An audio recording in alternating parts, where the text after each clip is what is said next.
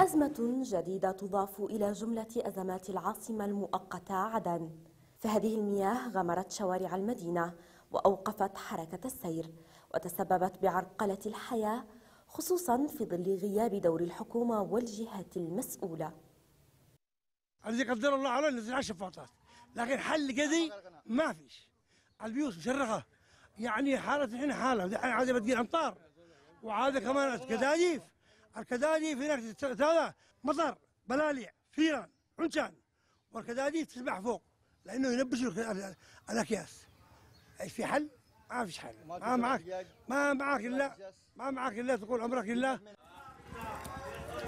مع عدم وجود تدخل جاد واتخاذ موقف عاجل من الجهات المختصة يجعل المواطنين في موضع المسؤولية.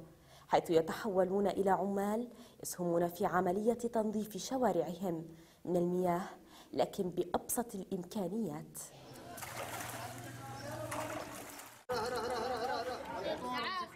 طبعا نحاول نستلم أي معونات غذائية أو أو إسعافية من من دول التحالف أو الإمارات؟ ولكن سمعنا اعلاميا ميدانيا لم نستلم أي شيء.